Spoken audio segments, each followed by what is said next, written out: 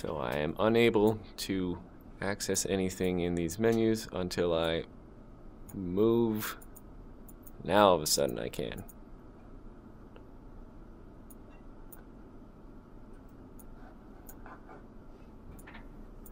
And then when I want to send the warning,